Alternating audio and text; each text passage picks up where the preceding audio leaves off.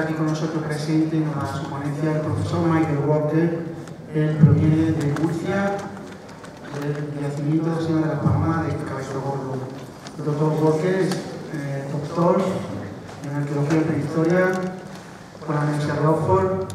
Ha sido profesor en la Universidad de Murcia y director del proyecto Señor de las Palomas y también en la Negra de Murcia. Pues muchas gracias Gracias. Uh, ¿Se se oye ahora? Ah, sí. Buenas, buenas tardes a todos. Es un placer para mí estar aquí en este Jerez y en estas jornadas también organizadas por la Asociación de Amigos del Archivo. Y felicito la invitación, la invitación, felicito el éxito de estas jornadas y aplaudo sobre todo los esfuerzos de Santi y de Marco eh, en todo lo que están haciendo. Chapo, ¿verdad? Bueno, yo voy a hablar de los yacimientos que llevo trabajando, que llevo trabajando 30 años casi en Murcia. Voy a empezar con la Cueva Negra del estrecho del río Pipa en Caravaca de la Cruz. Si se ve bien desde donde están ustedes, es el yacimiento a la izquierda. Y a la derecha luego voy a hablar sobre la cima de las palomas cabeza de un Ay, bien. Ah, También eh, quiero agradecer las contribuciones de toda nuestra asociación voluntarista de la Asociación Murciana para el Estudio de la Paleoantropología y del Cuaternario, que me han ayudado en compilar esta presentación, y todos los eh, especialistas en distintos países que han contribuido al éxito de nuestro trabajo. Tenemos colaboraciones en casi todos los países, en la Unión Europea, Alemania, Holanda, Bélgica, Francia, Suiza, Italia, Austria, e incluso en el extranjero fuera. Tenemos colaboraciones en Canadá, en Australia, en Estados Unidos. Y hoy en día, sin una colaboración internacional, el éxito de los proyectos es imposible. Pues, eh.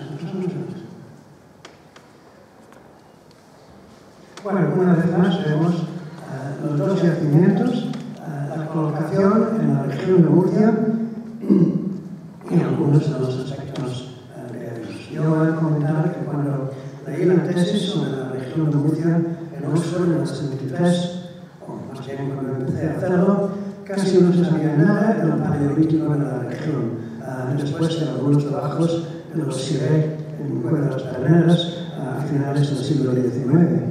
Eh, hemos hecho algunos eh, avances bastante grandes en los últimos años, no solo en los dos yacimientos que voy a comentar, sino otros en Paleolítico Superior, algunos en vías de excavación, eh, como la Cueva del Arco, otros eh, cuya excavación ya se ha terminado, pues yo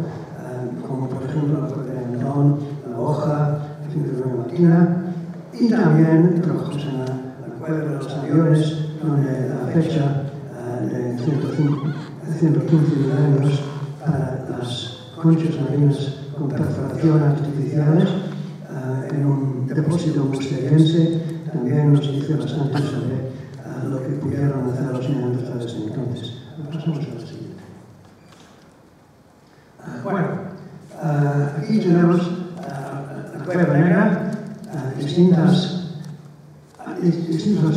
voy a comentar, se trata de un, un abrigo con un relleno eh, depositado eh, desde un entonces eh, ya con desaparecido largo frente al fuego, un pantano, hasta elementos aluviales de un periodo que sorprendentemente eh, ahora sabemos desde más, hace más de 800 años. Cuando yo empecé a explorar aquí, no esperaba eso, esperaba un yacimiento musteriense de quizás 80, 100 años, pero la sorpresa ha sido que no fue eso. Como se puede apreciar aquí, hay unos 5 metros de sedimentos en esta exploración por la, la forma tradicional, de manera escalonada, escalonada y en algunos sitios estamos encima eh, ya de la roca madre, que es un biocalca- una biocalcarenita del Mioceno superior. vamos a pasar a ¿no? a entrar un poco en detalles. Aquí tenemos una planimetría, unos perfiles que demuestran una sedimentación bastante tranquila, pausada, gradual, sin grandes interrupciones, excepto en época reciente, después de la guerra, cuando hubo algunos nudos y uh, silos uh, excavados por la gente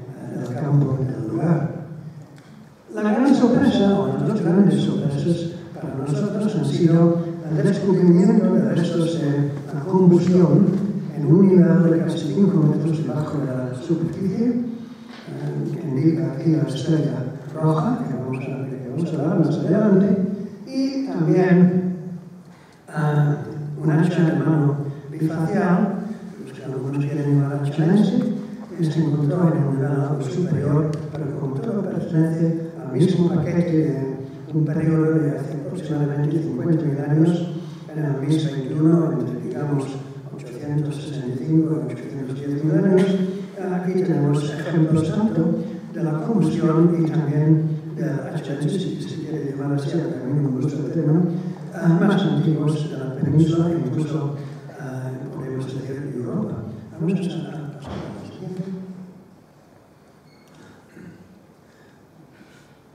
En este diagrama, en esta diapositiva, intentamos indicar la antigüedad la profundidad de los sedimentos. Se puede ver incluso uh, fuera de la cueva, en el escarpado, uh, debajo de la exponente de la cueva, como dentro de la misma. En 2009 se publicó en Nature los datos magnetoestratigráficos del segmento que a nuestra sorpresa, desde arriba abajo, salieron como de la polaridad invertida, la polaridad que corresponde al fin del cromatograma, datos publicados en Nature por Gary Scott y Berkeley, que colaboró con nosotros. La verdad es que esto fue una sorpresa totalmente inesperada. Así. Últimamente hemos hecho otros tipos de análisis. Estamos esperando los datos de Mathieu Duval, del CNI, y ahora en Griffith University, en Australia. Lo he visto dos o tres veces este año y me promete resultados muy pronto. Por otra parte, John Schenninger de Oxford nos sacó datos con la termioluminescencia óptica de sedimento, que indica simplemente una antigüedad superior a medio millón de años. Y por otra parte, there is this notion uh, in uh, some shopping, and uh, it's on board, unos sacó unos fechas uh, absolutamente imposibles de 4 millones de años que indica la contribución al sedimento de alimentos de la erosión de los, uh, los, um, uh, los estratos del uh, mioceno y del plioceno, agua saliva en el valle, totalmente descartados. Tenemos pasadas. La ahora, estudiada, la forma de estudiada por Alberto Armando Mara, en el Museo de Ciencias Naturales en Madrid, es coherente con un periodo al final del Pleistoceno inferior. O sea, podemos llamar el Pleistoceno inferior final, un periodo difícilmente anterior a un millón de años y evidentemente por los datos maneras con estos ligazos, pues a, anterior a 780 años, que es a, la frontera entre eh, la Roma pegada y el Roma actual lunes. Eh, Aquí tenemos algunas de sus unidades como la diapositiva que nos ha cedido el doctor Aldamara, que indica algunas de las especies eh, identificadas por él. En algún momento pensábamos erróneamente teníamos algunos dientes humanos. Ahora sabemos por algunos análisis que se han realizado en Austria, en Viena, que son la hembra y ursus de uh, un, un, un úcido extinto uh, que demostraba siempre una, un gran dimorfismo sexual, siendo la hembra más o menos de tamaño humano, y algunas de las piezas muy similares a piezas neandertales, uh, que pensábamos que, en su momento, pero evidentemente no lo son. No pueden serlo porque los neandertales no existían hace 850 años y ahora uh, se ha comprobado que estas piezas son realmente uh, de, de que cosa que no esperábamos en, en, en las primeras investigaciones. seguimos. esta es otra diapositiva, temo que no se va a ver muy bien, proporcionado por el doctor Andamara, que es un gran estudio en los cerebros. Y dice que un espécimen que excavamos, excavamos en, un nivel cerrado de un megaloceros, un gran ciervo eh, gigante, pertenece a una nueva especie que ha identificado en la red Victoria de Cartagena, un antiguo cubio de hienas, y que ha, ha llamado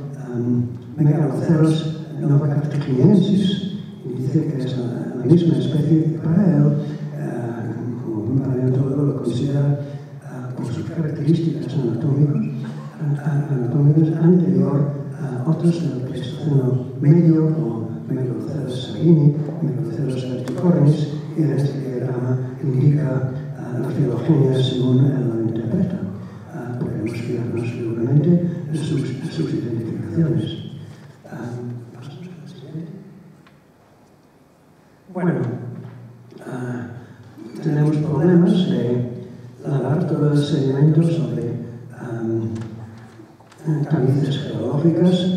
Hasta dos milímetros, uh, bombeando agua de ese río que ahora está encajado 40 metros más, más abajo. Pero lo hemos conseguido y desde el principio yo insistí en este procedimiento que ha sido muy fructífero porque, como vamos a ver en el siguiente diapo, ah, bueno, esto simplemente es un, un, un, listado de algunos de los elementos de fauna para quienes uh, se interesan por el asunto. Gracias a la tamización del sedimento, hemos podido analizar más de, bueno, aproximadamente 400 dientes de pequeños ratos de agua y campañones, roedores arbicóleros, a, especies extintas que vemos aquí. hemos publicado este año en Historical Biology, gracias al trabajo eh, uno de los biólogos, Antonio López, y asesorado por el laureado doctor Antonio Luis Bustos, de la Universidad de Granada, y la doctora Gloria Cuenca Rescos, de la Universidad de Zaragoza. Y todo el mundo está de acuerdo de que las identificaciones son correctas y además representan una muestra muy importante de la fauna de esos roedores del final del Pleistoceno antiguo. Eh, especies que inicialmente existieron antes del subcronjarrenillo y muchos, muchas de ellas desaparecieron al empezar el Cron Brunes aproximadamente hace 780 años. estamos en un periodo bastante breve y la fauna y el polen estudiado por el catedrático de, de Murcia, el doctor uh, José Carrión, demuestra un entorno muy templado uh, correspondiente a un periodo interglaciar y además uh, tenemos especies de uh, más de 60 especies de aves uh, identificadas por la paleontóloga británica Anne entre las que hay más de 7 especies de aves acuáticas y estas especies, tanto como el polen, demuestran la presencia de una, un lago, un pantano, frente a la cueva, cuyo desbordamiento periódico permitió la invasión del oro desde el pantano dentro de la cueva. Hoy en día, por supuesto, no existe semejante lago y posiblemente, o probablemente, los movimientos en la falla del Kipa, que es una falla muy activa, sobre la que está el lecho del río actualmente, causaron el desplazamiento vertical, salvando los sedimentos en la cueva de posterior erosión fluvial. Pues la, importancia uh, de esta diapositiva, uh, y, y, aquí vemos parte de la estadística, es que realmente deja fuera de, de, lugar uh, cualquier duda sobre la homogeneidad de los sedimentos y la antigüedad más o menos contemporánea con niveles como TD6 en la República uh, en los restos que vamos a combinar. Así, por favor.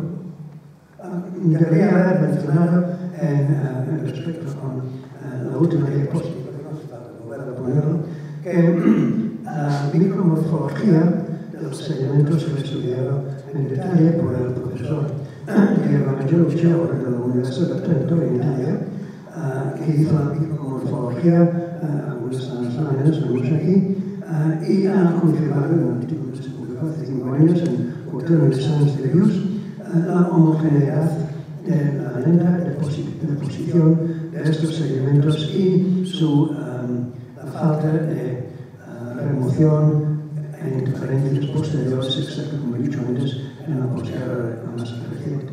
Seguimos. Bueno, lo más... Cuando en 2011 llegamos a casi 4 metros y medio bajo la superficie en este, en este uh, paquete, quedamos sorprendidos al encontrar grandes fragmentos de totalmente um, uh, reducidos a pequeñas astillas, evidentemente por, evidentemente por combustión, lo que indicaba también la presencia de fragmentos de huesos uh, calcinados, que vemos aquí algunos, también un gran fragmento de sílex que nos sorprendió que tiene todas las huellas típicas de la alta combustión. A la siguiente. como vemos aquí, aquí vemos este elemento y también podemos apreciar en estas diapositivas la labor sobre estos elementos realizada por el profesor Angelucci y su entonces doctoranda, ahora doctora Anesin, que de Italia. Siguiente, por favor. Bueno, aquí están trabajando sobre estos elementos que en este momento están siendo el objeto de un estudio mucho más detallado en cuanto a la tafonomía por uno de nuestros uh, recién um, licenciados en arqueología, un murciano joven que se llama Gonzalo Linares, que volver a Oxford para hacer su tesis en uh, este mes o el mes que viene. Seguimos. Bueno, pues aquí tenemos algunos de los, um, eh, las pistas de estos elementos y un diagrama que indica uh, cómo este paquete muy inferior uh, ofrece uh, todas las características de la combustión según el profesor Angelucci. Y también vemos arriba, a la derecha, otros fragmentos de CIEX que han sido remontados, partidos por el otra vista de lo mismo. Pasamos. Pues, posiblemente hemos visto esto antes. Eso es una, una foto de la micro, eh, microestratigrafía, la micromorfología. Pasamos a la siguiente rápidamente. hemos hecho algunos análisis uh, químicos y neurológicos de los sedimentos con uh, señales de combustión y sedimentos superiores e inferiores y parece ser uh, que el, el con esos uh, elementos que representan los productos de degradación por la combustión y por debajo también, especialmente por el, el comp la composición eh, de fósforo, uh, son totalmente compatibles con la degradación de los restos óseos por la combustión. ¿Pasamos? Utilizamos nada menos que ocho distintas metodologías para analizar um, estos restos tan importantes debido a su antigüedad. Uh, vemos aquí los tipos y vamos a pasar muy brevemente por cada uno de ellos en unos pocos segundos, cada uno, porque no tenemos tiempo para dar mucha explicación. ¿Pasamos? Uh, la microscopía uh, realizada por el doctor Ignacio Martín de la Universidad de Murcia, que vemos aquí, demuestra uh, superficies uh, totalmente compatibles, según él, con de sílex, alteradas, superficies alteradas por temperaturas altas. ¿Pasamos?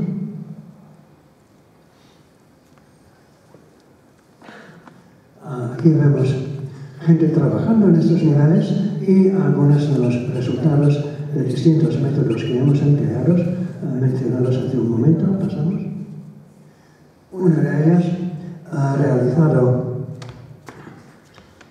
uh, por el doctor Daniel Richter en Alemania, uh, por la, el método de tervoluminescencia, demuestra que unos pequeños elementos que pudimos proporcionarle habían sido um, sometidos a temperaturas pues, uh, superiores a unos 400 grados, que indica una temperatura superior a la temperatura normalmente alcanzada por un incendio forestal, difícilmente, uh, um, difícilmente, difícilmente hubiera sido la causa de, un, un, una fogata dentro de una, cueva.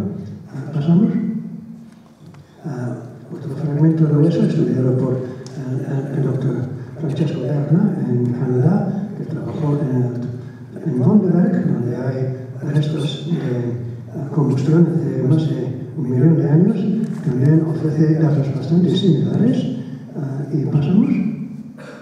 Y también otra metodología, la, paleotermometría, por la, la metodología la resonancia, resonancia del spin electrónico empleado por la, la profesora Gila en Boston, en el mismo sentido.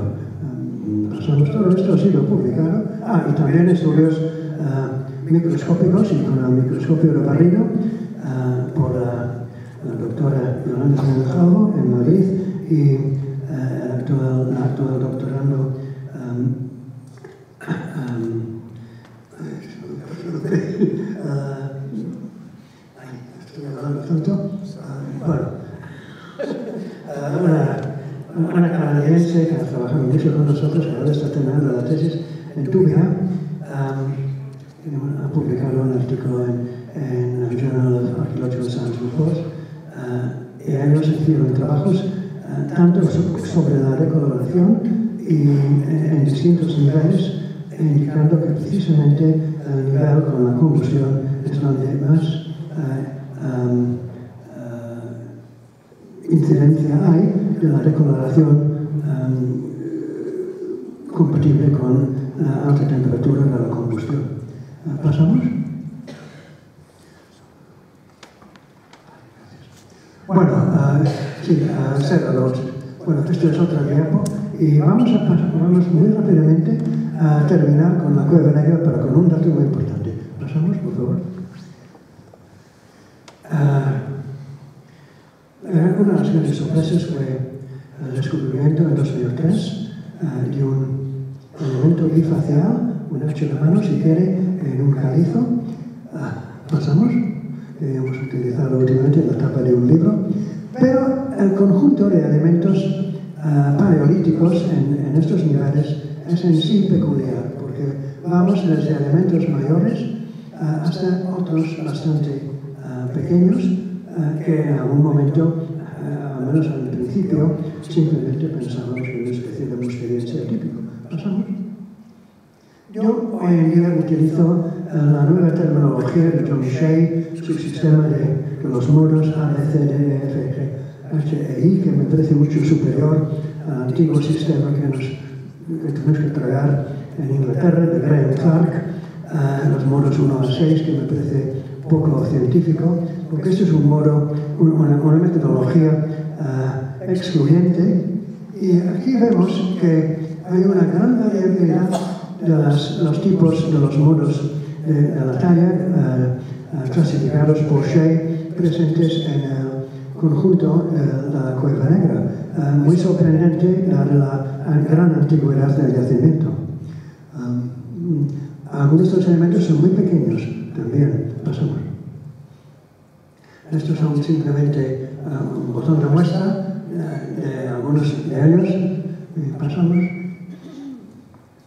hay que todos desde uh, elementos como vemos uh, a la derecha uh, hasta algunos otros que son más grandes. Pero también quería comentar que quizás um, el retoque, o el, prefiero decirlo, uh, la talla secundaria de algunos elementos tienen, probablemente tiene mucho que ver con la forma extraña de la mayoría de los elementos, especialmente de sílex, que cuando eh, salen de bloques de forma paralela de cero, que cuando se bloquean tienen, eh, suelen fracturar, fracturarse en formas bien laminar, eh, más bien difíciles eh, de utilizar como tal, como tales, y por eso quizás la reducción de algún, alguno de los bordes, los márgenes, eh, de forma, eh, por una talla más abrupta, podría haber sido a la manera de hacerles útiles para utilizar, para um, cortar o raspar, y eso no tiene nada que ver con la reducción um, de esta manera en la típica, um, el típico trato musteriense. Vamos a pasar. Bueno, podemos ver aquí algunas bases, hay algunas bases que indican el talla recurrente, que también, incluso con, en algunos casos, para hacer formas facetadas, eh, preparadas antes del desprendimiento eh, de los elementos. ¿Pasamos? Y bueno, pues cualquier que vea esta lasca podría pensar que la talla recurrente fue, desde luego, parte de la, práctica común. ¿Pasamos?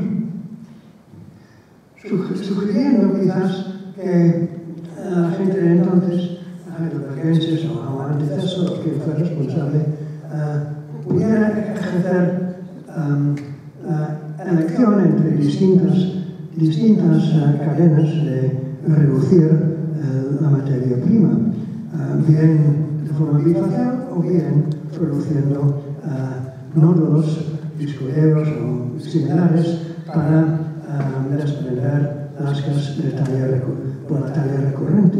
¿Pasamos? Y bueno, pues no voy a aburrirles demasiado. Eh, evidentemente, eh, estes son algunos dos ejemplos de materia que hemos recogido, e eh, aquí tenemos algunas tablas que indican tanto las materia, la materia prima y utilizando la, la clasificación de Shea, a la forma, las, las, uh, uh, la composición y siguiente. Y aquí tenemos la distribución en los distintos, las distintas unidades litoestratigráficas uh, que más o menos es homogéneo. Uh, el H, si queremos llamarlo así, es única, pero uh, por lo demás, pues Bueno, pues evidentemente es una colección especial. Uh, pasamos. Uh, muy brevemente, la cueva está encima del río y hay muchos afloramientos de materia prima, sobre todo de sílex, como hemos visto, eh, non é só, só o sílex, eh, a, a materia básica, eh, desde afloramientos en conglomerados del Mioceno hasta otros del el Plioceno y otros durante el Pleistoceno en los alrededores de la cueva. ¿Pasamos? Oh, ah, bueno, eso más o menos dice lo mismo, pero lo que no quiero es explayarme demasiado sobre uh, la neotectónica que ha sido estudiada por el profesor doctor Tomás Rodríguez Estrella, Estrella de la Universidad Politécnica de Cartagena, uh, hidrogeólogo él. Uh, pero evidentemente la neotectónica ha sido muy importante, ha jugado un, un papel muy importante en la evolución del paisaje. ¿Pasamos? Uh, a 800 metros de la cueva hay un afloramiento de conglomerado del Mioceno, que evidentemente fue entonces una formación marina bajo el fondo del mar de Cetis, uh, que ha incorporado elementos de sílex jurásico que forman la, la, las sierras detrás de la cueva, pasamos, y donde hemos encontrado material, claro. Y según el doctor Rodríguez Estrella, vemos aquí la formación de la cueva supuestamente endokárstica en su día, probablemente en el Plioceno, bajo un lago que luego, luego, uh, que luego, luego fue elevada su, uh, llegando a su, uh, a su cota actual de 750 metros encima del nivel del mar y 4, 40 encima del cauce actual del río Kipper. pasamos. Esto es importante. Mm, la cueva mm, está debajo de la flecha roja Pero si vamos arriba vemos eh, a, a una serie de eh, afloramientos, no, mucho más de momento. Tenemos bloques muy grandes, muy eh, grandes, desprendidos, desprendidos de los escarpados del Jurásico que hemos podido recoger allí, pero en la medida en que estos fueron reducidos por la erosión incorporados en gravas, en arañas y gravas posteriores, se reducen hasta tamaño de vez en cuando uh, en un, una pedazo de guiar. Pasamos haciendo difícil la talla. Hay muchos, uh, mucha evidencia de, de, los antiguos lagos en la zona que fue una zona con un biotopo muy rico, como uh, tanto la fauna como la, el polen demuestra, zona de humedales, pero también, como vemos en la diapo abajo a la derecha, también sujeto a, a la neotectónica como el pliegue de estos niveles del Pleistoceno que demuestra claramente. ¿Pasamos? Bueno, uh, hemos, hacemos, hemos muestreado uh, algunos de los surgimientos, uh, tanto de SIEX como de algunas otros, otras materias primas, en, en torno al cauce hasta 30, 30 kilómetros aguas arriba y no tanto aguas abajo, pero hemos determinado elementos en común con materia prima extraordinaria. Vamos a ver la siguiente. Uh, siguiente, por favor. Bueno, esto indica uh, los, antiguos lagos, ríos arriba, en la cabecera del Alto Kipper, que se llama la Rana de Tarragoya. Pasamos. Y haciendo un análisis, gracias a la colaboración con la Universidad de Arizona, utilizando, la metodología uh, de la uh, muestreo por la ablación por láser y luego la espectrometría que permite la identificación de de elementos uh, instantáneos, elementos trazo bastante infrecuentes, um, pero muy importantes, podemos comparar y contrastar uh, la composición de una muestra de la cueva con muestras que hemos hecho en distintos razonamientos, vemos que la mayoría, la mayoría proceden uh, en la cueva uh, del afloramiento más cercano, que mencioné antes, a 800 metros, pero algunos otros parecen tener bastante similitud con nuestros que hemos sacado hasta uh, 30 kilómetros eh, aguas arriba, lo que nos sorprende, porque la gente conocía bien su entorno y esto fue un paraje con un rico biotopo de humedades, con humedades para la explotación de entonces. Pasamos.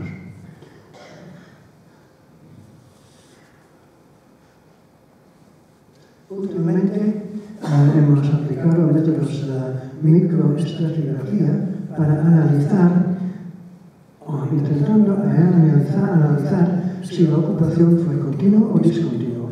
Y llegamos a la conclusión de que fue discontinua y hubo episodios, a lo que siempre pensábamos, unha inundación la cueva imposibilitaba la presencia humana um, y luego ah, uh, periodos cuando también uh, la cueva fue utilizada por uh, otros animales y aves uh, hasta que la gente regresara. Um, utilizando métodos uh, de análisis bastante finos que permite uh, precisar niveles de, de uh, 2 centímetros, hemos permitido uh, corroborar uh, uh, esta esta eh, hipótesis que parece bastante verosímil. ¿Pasamos? Bueno, vamos a decir adiós a, a la gente de la cueva negra y pasamos ahora a las Islas palomas, donde en pasado pues, publicamos una monografía sobre parte de la colección esquelética. Uh, ah, todavía hay mucho, mucho material para publicar. ¿Pasamos? Uh, un, mientras que la, la cueva negra está 75 kilómetros en línea directa del, del mar e a más de 100 desde la desembocadura del río Segura. Ah, las Islas Palomas del Cabezo Gordo está muy cerca del Mar Menor, a unos 120, ah, a unos 125 metros encima del nivel, en una masa, ah, eh, en, eh, en una montaña ah, de mármol del Permo Triásico.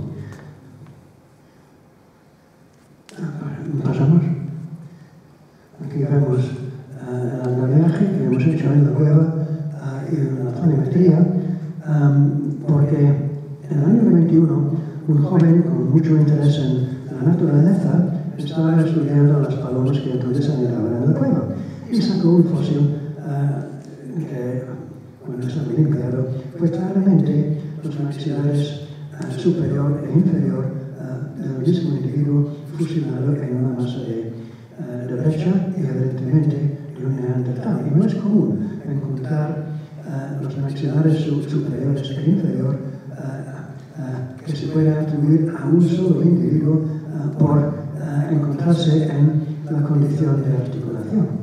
Pasamos. Tuvimos que acercarnos. Pasamos. Aquí está el, el fósil antes y después de su limpieza. Pasamos. Y ahora vamos a empezar un poco más abajo. Ahora hemos podido excavar durante más de 25 años.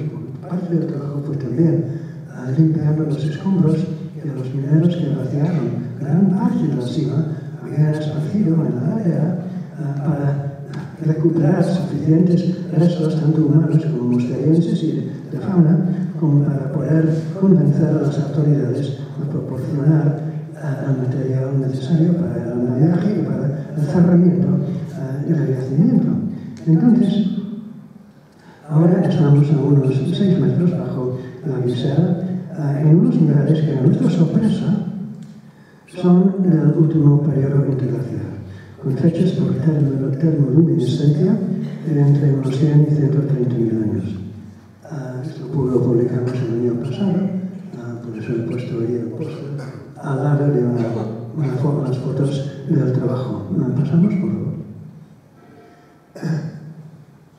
podemos llamar en este momento la primera fase, y está eh, sellada por un conglomerado fino pero extremadamente duro, uh, fechado por un uranio serio, una serie de uranio y um, uh, la resonancia del espino electrónico en aproximadamente 65-68 mil años.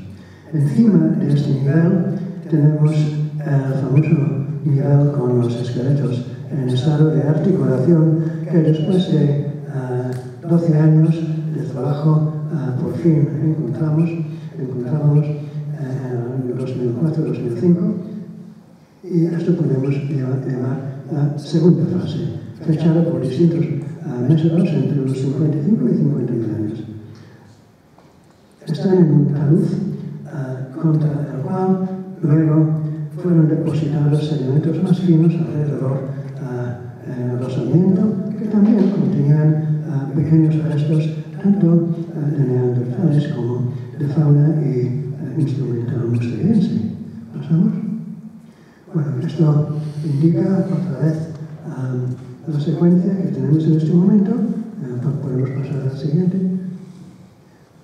Aquí también tenemos la primera fase el último periodo que va restos de neandertales, fragmentos uh, de la rama ascendente de un ah, uh, neandertal inmaduro, uh, ah, dos dientes incisivos, y este como nuevo que hemos encontrado, que que no está aquí, uh, un molar uh, de un bebé. Pasamos. Bueno, esto es una vista de, desde arriba, donde estamos trabajando, pasamos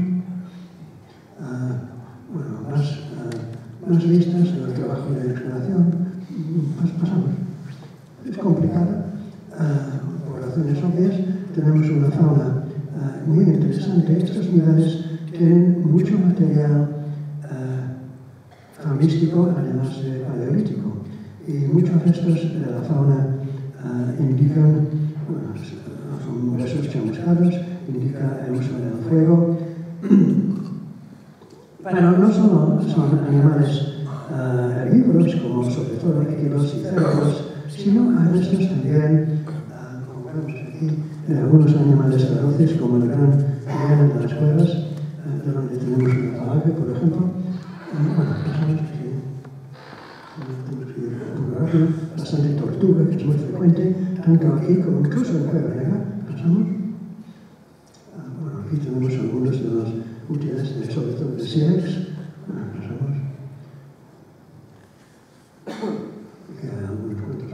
Y sobre todo quiero llamar la atención a una docena de extrañas olas de, de seguramente en, en su origen, del plano triásico, pero evidentemente son cantos que han sido subidos desde grados en, la llanura más abajo, en el campo de Cartagena, que no podemos investigar porque hoy en día está todo bajo agricultura.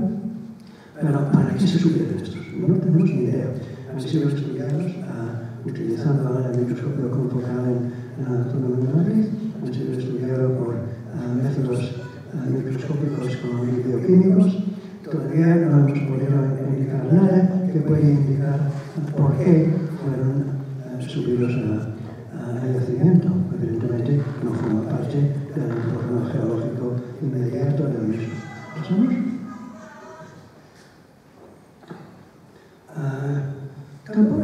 podemos llegar sobre uh, los afloramientos sílex que utilizaban. Uh, sabemos que en, en algunas piezas venían desde hace casi 30 kilómetros, uh, eh, un, un sitio que se llama la Casanaja, cerca de la Unión, pero la montaña en sí, a través del no tiene afloramientos de sílex. Y eso es otro misterio con que estamos en este momento. Uh,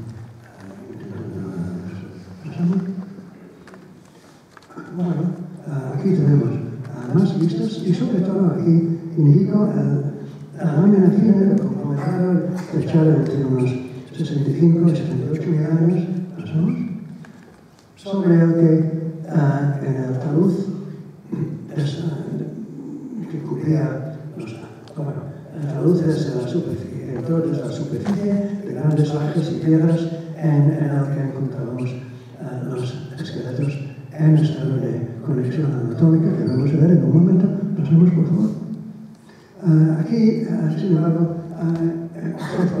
simplemente uh, una indicación de las fechas que hemos sacado de, tanto de la fase primera como del conglomerado y sobre todo uh, la fase segunda de donde, donde estaban los esqueletos. hay una serie de fechas, podemos descartar totalmente las fechas de carbono 14, no son de fiar, no fueron realizados con ultrafiltración podemos mirar más bien las fechas tanto de uh, luminiscencia de ese elemento como uh, de la serie de uranio que uh, más o menos implican hace 55 o 50 años. Hay razones por el estudio polínico del profesor Carrión de los sedimentos agrupados alrededor de la fase tercera que todo el sedimento había llegado a, a colapsarse totalmente llegando hasta la quizá antes probablemente trovava hace 43 il testimone. Es casi imposible que hubo contacto alguno con uh, uh, cualquier um, homo sapiens moderno que hubiese llegado en la zona. Todo esto es anterior. ¿Pasamos? Bueno, aquí uh, vemos cómo empezamos a encontrar los restos totalmente embebidos en, encostrados por capas de carbonatadas en el talud. Muy la excavación fue muy complicada. ¿Pasamos? Y al fin y al cabo, hay de estos al menos tres individuos um, con huesos en estados de articulación, uh, posiblemente cuatro si uh, el elemento encontrado en el último que vimos en la primera diapositiva uh, no pertenecía a ninguno de estos. Dos al menos los que excavamos tenían sus propias uh, y, y mandíbulas. Um, a 85% del esqueleto de una chica accidente que tenía entre unos 16 y 20 años cuando murió, que estaba en esta posición con las manos cerca del frente, como se conoce en algunos otros yacimientos musterienses, tanto de neandertales como, como por ejemplo en el escudo de Beirut. Um, ¿Pasamos? Y debajo de ella, casi todo el esqueleto de un niño, que no hemos excavado todavía porque, como los que voy a comentar, porque hemos escaneado todo esto gracias a la colaboración con los profesores Tony Coffer y Marcia Ponce de León que están intentando hacer una reconstrucción virtual y esto nos va a ayudar a no equivocarnos si es posible en algún momento hacer una limpieza más, más completa. Y luego, debajo de, ah, ellos, otro adulto. Ah, el niño también, vamos a ver, tenía ah, las manos contra la, cara. Esto fue el bloque en que encontramos a mí, levantamos todo el bloque y lo llevamos al laboratorio para la limpieza.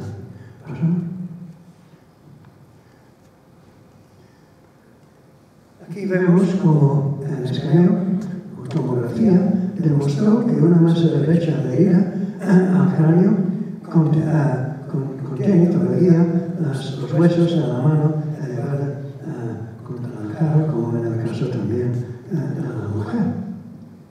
Pues su hijo, su hija, no ni idea, no podemos decirlo. Pero catedrático de la Universidad Robin está intentando estudiar el ADN nuclear estos clientes. Son sueltos que tenemos y esperamos saber pronto algo más sobre las relaciones eh, uh, paleogenéticas uh, eh, de este grupo. ¿Pasamos?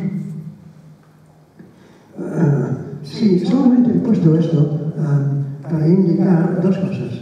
En primer lugar, el individuo inferior de los tres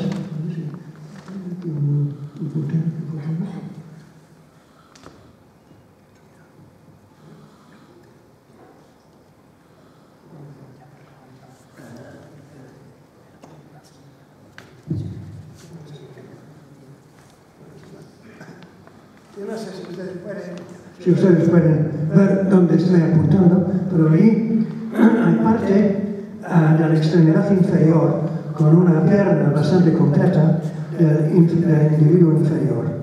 Este individuo, a diferencia de los otros dos, no tendrá uh, el codo en flexión, sino más bien en extensión.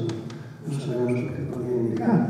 Pero más importante quizás es cerca de la el cráneo del niño. Um, bueno, esto es el, individuo, pero más importante, más importante, más interesante es que cerca del, cráneo del niño fue encontrado, fueron encontrados, mejor dicho, dos patas, esta es una de ellas, de Pantheracarpus. Casi los únicos otros huesos en estado de articulación anatómica. Y claro, el resto de la pantalla no está ahí.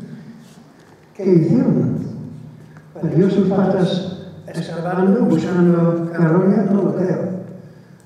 Hay otro caso de, de una pata de pantera en un yacimiento musteriense en el mercado, que es uh, la Grotte de Lotus, en el sur de Francia. También uh, supuestamente excavada en esta de conexión anatómica. Fueron cortados como trofeos para entrar con el, el, niño, no sabemos. Quizás eso nos lleva a, todo el asunto de qué significa estos es, esqueletos, esqueletos en estado de, de articulación con las manos elevadas, con, el codo en flexión de infección que indica un momento antes de que el rigor mortis pudiera sobrevenir. Lo cual quizás implica también que algunos congéneres estaban implicados en el arreglo de los cadáveres. El hecho de que panteras y leopardos no hubieran esparcido los huesos también quizás hace pensar en una conjetura de que los congéneres taparon los cadáveres con grandes lajas y losas para evitar eh, el esparcimiento de los huesos. ¿Por qué motivo? Quizás realmente higiene, no sabemos, pero no podemos avanzar a especulaciones a fantásticas porque esto no es el programa de cuarto milenio. Ah, ah bueno, aquí Paloma, pasamos. Otra vez la chica.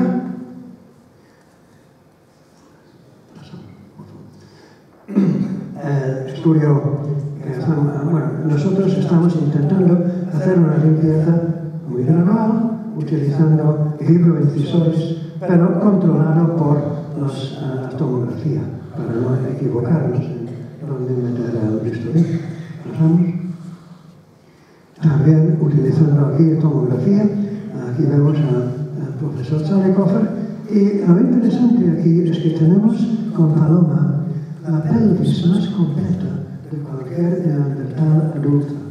Y eh, uh, el profesor Chalecofer y la doctora Marcia Puente de León eh, van a publicar pronto algo sobre esto porque es mucho más completa y quizás va a resolver algunos de los problemas sobre uh, la parturición en las, en las neandertales. Pasamos.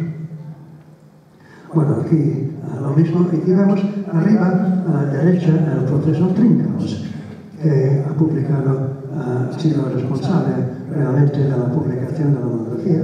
¿Pasamos? Y sobre todo de los análisis uh, sobre las proporciones corporales de los, estos neandertales. Son muy bajitos, son entre los más bajitos que conocemos. Por eso nos interesa la filogenia y el ADN. y tuvimos que eliminar cualquier sospecha de que esto indicara alguna gracilidad por hibridación con gente moderna. Pasamos. El profesor Trinkaus estudia los huesos largos, sobre todo, utilizando, como vemos aquí, el segundo momento de área, que es una estadística utilizada por ingenieros y arquitectos y aplica, ela aplica esta, esta estadística uh, a mãos a huesos diversos uh, aquí por ejemplo, uh, el fémur. Y a pesar de la diferencia absoluta de las dimensiones, su aplicación puede demostrar que pertenece a un grupo de neandertales y no a ningún grupo de seres humanos más modernos, bienes bien la parte superior, o bien, por ejemplo, como School, Erput, de un grupo más antiguo, en Medio Oriente. ¿Pasamos? También se puede aplicar a mandíbulas. Tenemos en total restos humanos correspondientes a un mínimo de 15 individuos en uh, el yacimiento, procedentes del yacimiento. Uh, ¿Pasamos? Y adultos hasta algunos bebés que vemos aquí, ¿pasamos? Y bueno, aquí es el pie que mencioné antes y el codo en extensión uh, del individuo adulto inferior de los tres, ¿pasamos? Bueno, más de los trabajos uh, profesor Trincaus, utilizando su metodología para demostrar, en este caso utilizando huesos en el pie, la robustez y la forma típicamente neandertal de ellos, pasamos. bueno, creamos el material, lógicamente con agua, gracias a las instalaciones, a, la fábrica cercana de los marmoristas, porque hay una gran cantera de mármol, pasamos. aquí trabajos con el micro, el microtomógrafo de algunas del visto, por nuestros colaboradores del visto y de Francia, que ellos estudiaron sobre todo los aislados de los que tenemos más de un centenar. ¿Pasamos? Y bueno, en algunos, algunas piezas de tallas, el sarro contiene fitolitos que han sido estudiados por el grupo de Amanda Henry, ahora la profesora Henry, ahora es Leiden, y esto pone de relieve que la gente tenía incluso elementos vegetales que luego se encontraron en, sarro. Y el polen también indica condiciones, a pesar de que estamos en una bibliografía similares a los que vivimos esta mañana, también a Matera senegalensis y otras, otras especies que el profesor Carrión uh, mete en lo que él llama la flora ibero-norteafricana, africana, uh, que estaba presente durante el periodo glaciar en el sureste de la península. ¿Pasamos? Bueno, hay algunos elementos patológicos de los dientes, como caries, evidentemente, si están comiendo frutas y tal, nos sorprende que, que tengan infecciones bacterianas que producen uh, jóvenes, personas, e incluso posibilidades eh, como eh, en este, ciencia indicada por las, las fechas que supone una hipererupción y una pieza superior que no tenemos, causando un impacto muy severo sobre la parte eh, inferior y patología correspondiente. Pasamos. Bueno, pueden, pueden leer esto. Lo que suponen los individuos.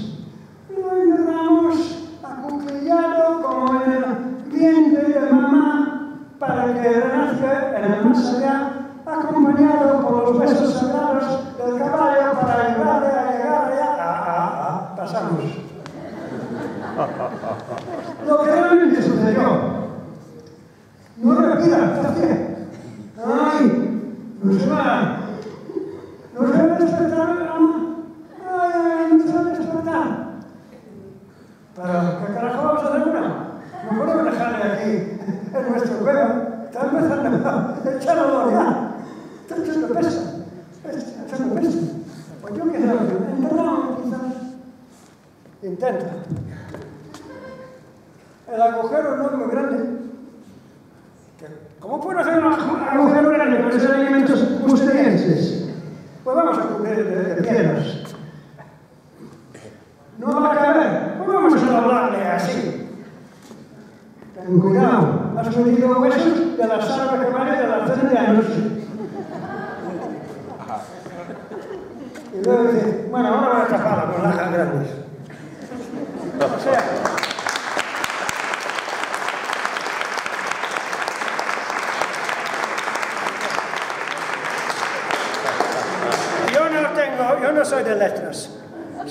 Y biólogo. Prefiero las, las interpretaciones prosaicas a las conjeturas y confabulaciones ah, poéticas, que a mí no me...